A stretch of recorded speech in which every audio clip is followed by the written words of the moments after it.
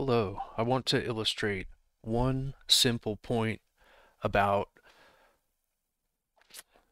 passing objects around, little objects basically, instead of primitive values, especially between other objects. So this maybe isn't so necessary within like a class itself, but um, I think it's it's usually a good idea passing things from class to class, so to speak. So this, for an example, let's say I have a function or a method, I'm in Python, and it's just called add one.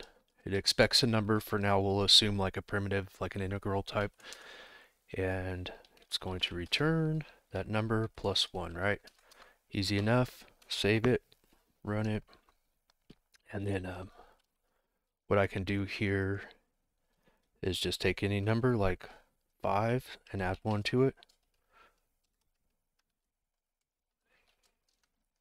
We get 6, of course. Do the same thing. We still get 6 because it's not mutating the value. It's just returning it, adding 1, then returning it, and dropping that value so effectively.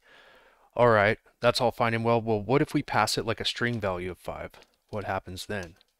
Well, in Python in particular, it crashes. Okay, so what we can obviously do in Python is come in here and force this to be an int, save it,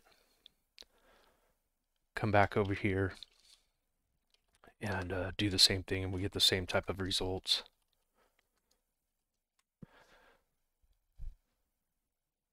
So anyway, that's one way to do it, right? Now let's say we have another function called def add one to string. And what this is going to do is it's going to take a string, I should actually, that we're kind of assuming a string there, and we're going to take that string and we're going to add a character value of 1 to it, like this. So I'll go ahead and save and run that. And then I'll say add, a long name, 1, 2, string. And I'll give it like a 5. All right, and there it appends a 1 to the 5, which is what I expected. And what if I go the other way and do this? Oh, it doesn't like that either. So of course, in Python, the simple answer would be always convert that to a string. Excuse me, rerun it, add 1 to 5, and then it, we get the result we expect, right? But I would like to illustrate something without assuming I want to use these basic constructs, but for the moment I want to kind of assume that Python doesn't have them. And to do that,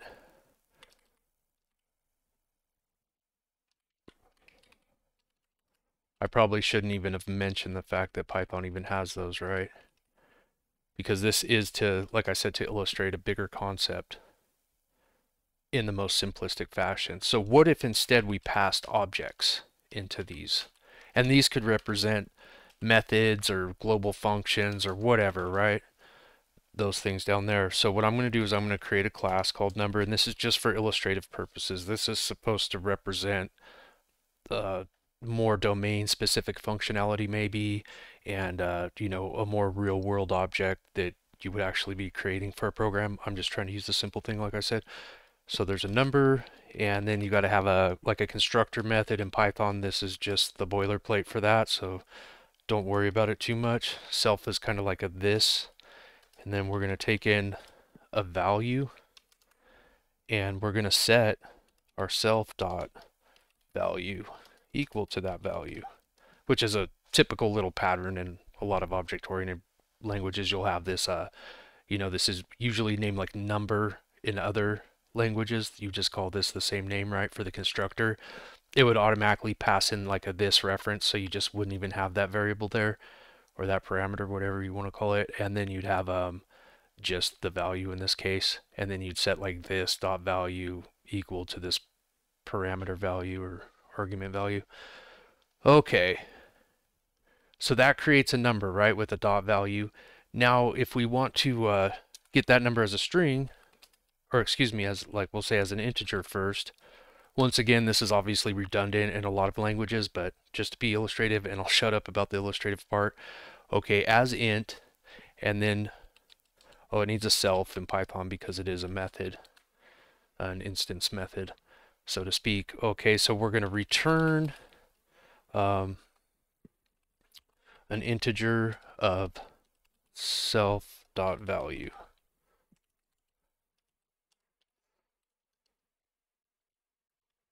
And then if we come down here and say n, or that's an O now, as int, and it's a method, then it would work like that, right? So I'm going to get rid of this string thing for now. Okay, so what we have here is the same basic idea, and of course we're imagining things to be bigger and badder, and we have this this thing right here, and it's going to take in an object, and it particularly cares that that object has an interface which gives it, returns it an, an integral representation, which it then adds one to. All right, I'm going to run it. And then we'll go add.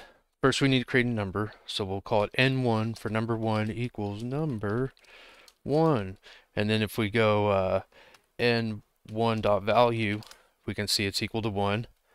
And then what we'll do is add one with n1. And there we're getting the result we expect. Okay, cool. And this is to show that now let's say that that was the initial requirements for our program was to, you know, just do this one behavior or whatever. And because you watched my video, you're like, you know what? I'm going to be on the safe side and just make that an object, right? So now when the next sprint comes along or whatever and somebody says, hey, you know what? We really want to be able to append one to a, a number as a string as well so we're going to come in and add that functionality, add one um, to number or to string, right? Also pass it in an object. And then we're going to return o dot. And now watch. One thing I forgot to mention is I haven't, we're adding this functionality and I'm not going to alter this existing implementation and I'm not going to mess with any of the existing. I'm only going to extend this class is the goal here. So when you hear of the solid principle open for extension and closed for modification, that's what I'm really rolling with here. So this is open for extension, but these interfaces right here, no, don't mess with those, right? That needs to stay the same because that's what our existing program, which is represented by this one little function, which really could be like thousands of lines of code, right? Um, we want to extend our program with this functionality here. And the idea, of course, is because if something's fragile or rigid, it makes it like rigid means it's difficult to make the change period you know we don't have a flexible design and fragile means if we make it in one place it's likely to break in other places so of course if we didn't it's easy to fall into like if else loops, all that kind of stuff. So this also avoids all that. So right here, we're just extending once again, def add one to string. We're taking in that object. And of course, we're going to do a to string. We're going to create a to string method. And then we'll just add a character value of one to that. So I'm going to come up here and just extend this interface.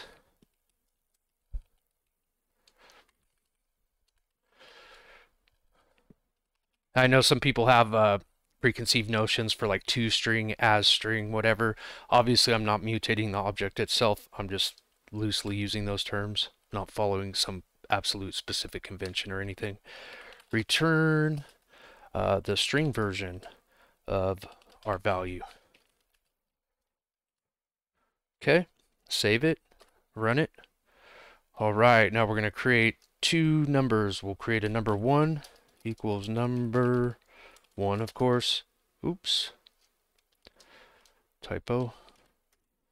Number one equals number one. And then we'll do uh, number two equals number two. And then we can just say like add one to n1. We can say add one 2, and 2. And of course, we're getting the results we expect, which is nice.